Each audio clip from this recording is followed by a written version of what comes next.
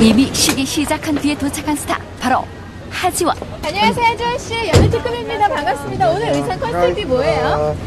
여기 카페 못 써시고 좀 레벨하지 않기로 하셨잖아요. 아, 네, 안녕하세요. 네, 안녕하세요. 오늘 왜 이렇게 늦게 오셨어요? 잠깐만요. 아, 잠깐만요. 시간이 이렇게 지난 줄 몰랐어요. 몰랐어요. 여기요. 오늘 의상 너무 예쁘세요.